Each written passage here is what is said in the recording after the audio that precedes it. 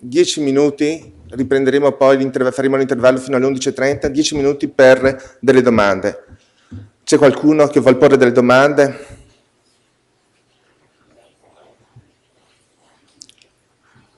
Prego. Domande flash, risposte flash. Sì, due domande su quest'ultima relazione molto bella, complimenti. Eh, noi abbiamo dimostrato nell'ambito di Baveno e nell'ambito NIECA una differenza di importanza nella valutazione della predizione del sanguinamento nel paziente iperdesoportale tra la pressione diretta nelle varici dell'esofago rispetto alla pressione bloccata sovraepatica.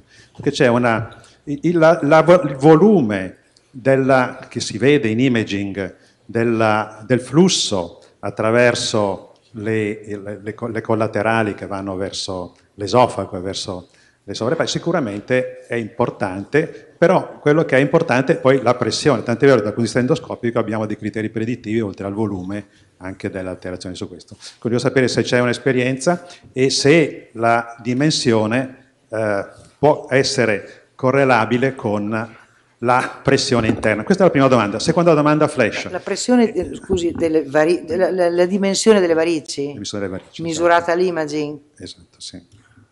Eh, cioè, un problema impossibile. Le rispondo eh, subito di no. Di no. Però una cosa interessante è il problema della puntura diretta della varice dell'esofago per avere un criterio predittivo della probabilità di sanguinamento nel paziente in attesa del trapianto. L'altra domanda che volevo fare era il problema dello uh, shunt uh, del flusso arterioso. Eh, spesso nel paziente trapiantato c'è il problema delle recidive, delle uh, stenosi, delle anastomosi, uh, delle anastomosi biliari. E questo è un dato estremamente interessante che non conoscevo. Avete delle esperienze sulla embolizzazione per ridurre questo problema del, fu del, del, SAS, del, furto? Del furto? Sì. Sì, non è, non è, molto frequente, noi ne abbiamo visti, eh, ne abbiamo visti forse cinque casi in tutto eh, perché deve essere un'ipertensione portale molto molto inveterata per non andare indietro, per non ridursi al momento del trapianto nei giorni successivi.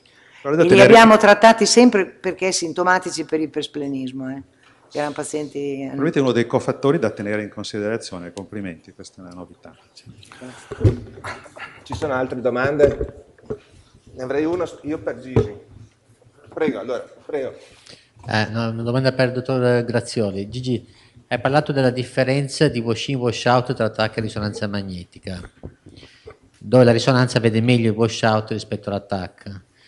Visto il colloquio che abbiamo la discussione che abbiamo avuto al telefono l'altro giorno, non pensi sia dovuto a una geometria del bolo più compatta in risonanza che ne mettiamo poco rispetto a quella dell'attacco che ne mettiamo tanto, quindi c'è un allungamento della fase arteriosa che si prolunga in fase venosa? Sì, sì, io ovviamente non sono entrato in un discorso tecnico, ma sì, sono perfettamente d'accordo. Credo che eh, la geometria influisca, forse anche qualche peculiarità di mezzi di contrasto, anche in risonanza magnetica, nel, come dire, piccole dosi che perturbano molto quello che è il, la possibilità di cambiare i tempi di rilassamento, quindi percepirlo quando, come dire, acquisisci conseguenze più appropriate, tant'è che potremmo enfatizzare in contrasto indipendentemente dalla dose o dal flusso, cambiando anche i parametri della sequenza. Mm. Però sono, sono d'accordo. Io ritengo che in TAC dobbiamo ancora lavorare su sta roba, cioè le TAC nuove, molto veloci, ci costringono a ripensare anche a nuove geometrie di bollo e tutto quanto. Eh, sicuramente, sì, sì, sono d'accordo. Sì, sì. Una domanda, tu hai detto il controllo a sei mesi del nodulo, Mai avuto problemi medico-legali per questi controlli così distanti nel tempo? Ovvero sia, nessuno si è mai rivolto dicendo ma lei mi ha fatto aspettare sei mesi? Vabbè, eh, ma eh, per fortuna le linee guida ce ne sono tante e su questo argomento abbastanza, come dire, coincidenti. Sì, so che i giapponesi nel cosiddetto nodulo, tra virgolette, ad alto rischio propongono anche i quattro mesi. Il concetto è che il tempo di raddoppio mediamente sui 120-150 giorni. Quello che io analizzo e considero quando stendo il referto è la sede.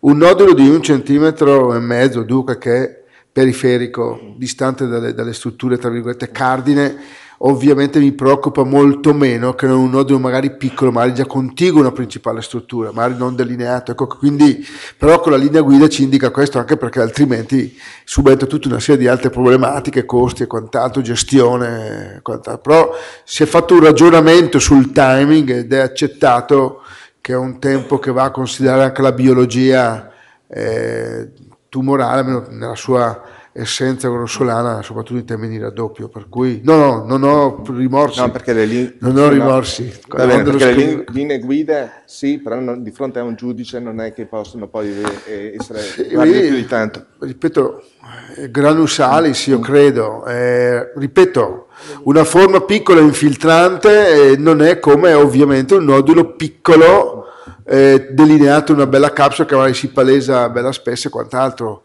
Eh, non, è, non, è, come dire matematica che la capsula non sia sicuro contenimento, però sicuramente rappresenta una sorta di barriera, per cui ti dà eh, l'idea che cresca un pochettino più lentamente e contenuto. Ecco. Va bene. Ci sono altre domande?